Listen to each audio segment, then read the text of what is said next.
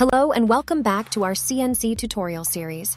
In this episode, we will discuss the M codes M08 and M09, essential commands that control the coolant in a CNC machine.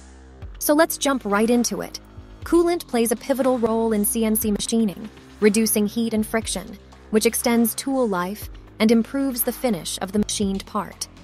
Being able to control the application and cessation of the coolant flow is crucial, and that's where our M codes come in.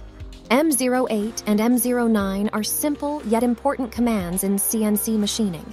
M08 turns the coolant on, while M09 turns it off. During an operation, you may need to start the coolant flow.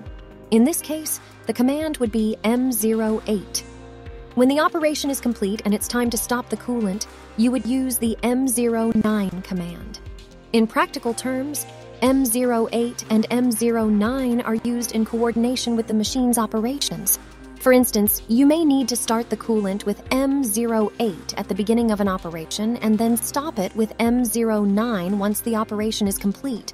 By understanding how to use M08 and M09 effectively, you can optimize the use of coolant in your CNC operations, improving both the longevity of your tools and the quality of your products.